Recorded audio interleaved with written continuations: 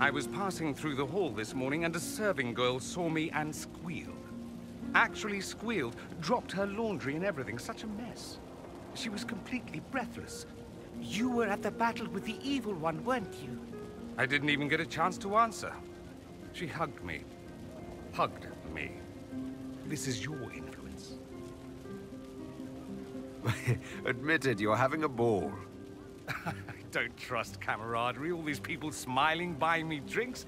It's unnatural. Mind you, I can't say I hate the notion of being the good Tevinter. I suppose you can't all be evil bastards. The blacksmith said that, and he spat when we first met.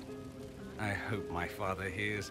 He will shit his small clothes from shock, I swear. You're an example of how noble Tevinter could be. For Southerners, maybe. Back home, they'll be rolling their eyes behind their fans. Meanwhile, they'll conveniently forget the bastards who wanted Corypheus ruling us all. I've decided to stay with the Inquisition. For now. You will? Tevinter lacks the presence of my best and only friend. It'll keep.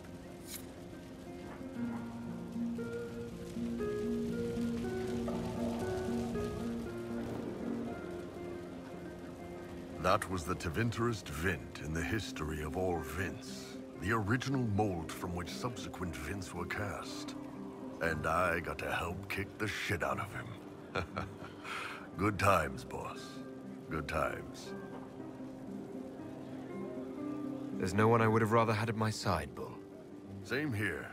I got to kill another dragon and fight a Vint. Those poor bastards on the ground had demons. The Ben-Hassrath are pleased. Their agents are checking for remnants of the cult in Tevinter. I expect they'll call me back for a more detailed report. Not many experts on demons and old magisters under the Qun.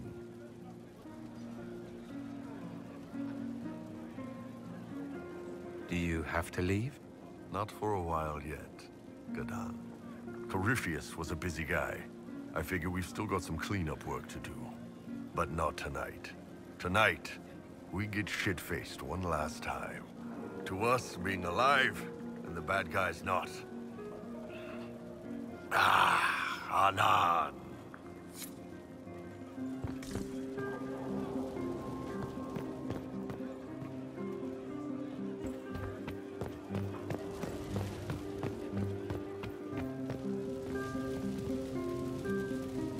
So much to do, my dear.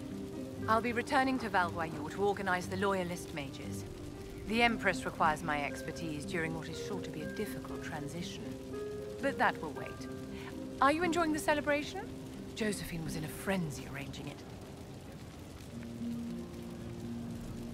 As a matter of fact, I am.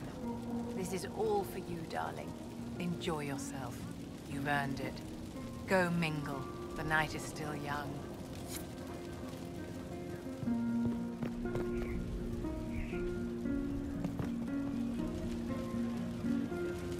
Hey, Kadan. I know we talked, but you got a minute before you do your big thing. You almost always last longer than a minute, Bull.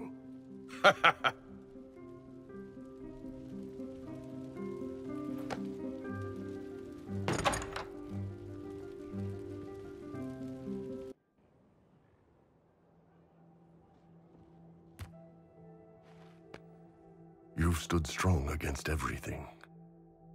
Never flinched.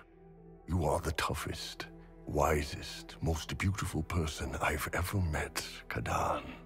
And I can't tell you how proud I'm gonna be watching you out there, addressing the whole Inquisition. With this big, old love bite on your neck. Hmm. You ass!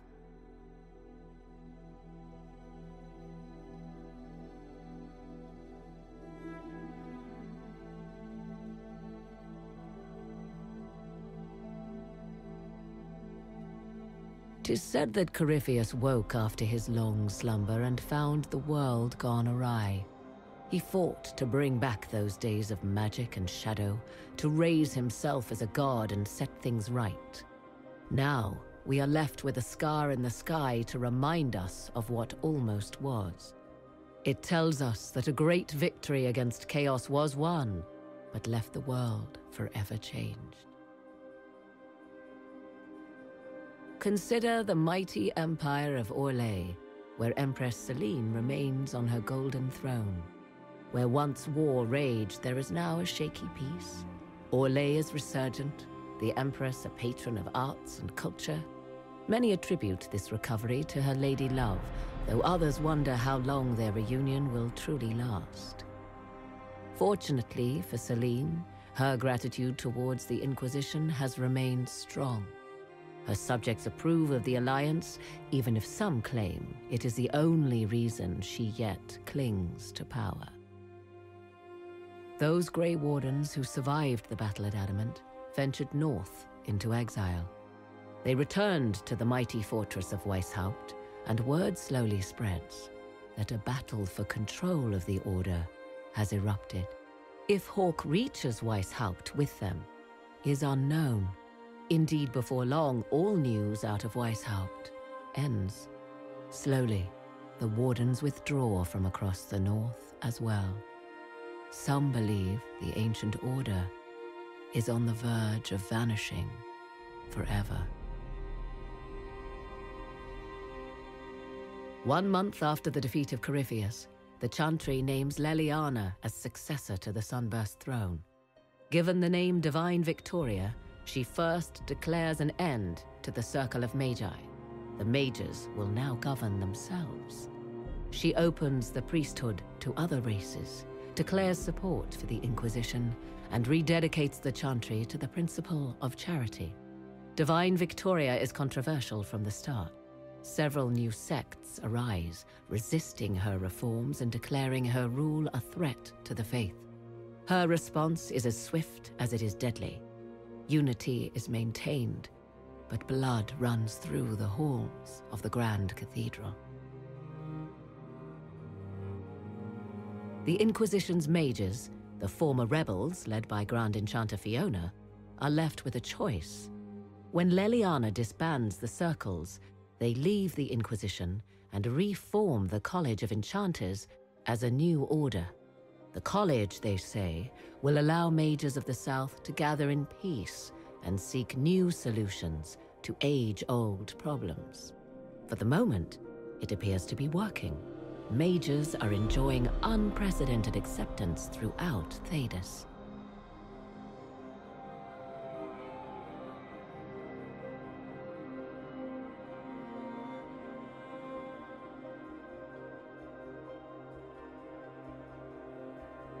And what of the Inquisition itself? It has eyes and ears in every hall. No secrets are beyond its reach, and that knowledge has become the source of its power. I leave Skyhold now, knowing that power will continue to grow. The Inquisitor is a symbol to many, a leader of the changing world order. To others, he has become a target. They linger in the shadows, waiting for their day to come. When it does, the Inquisition shall stand, ready.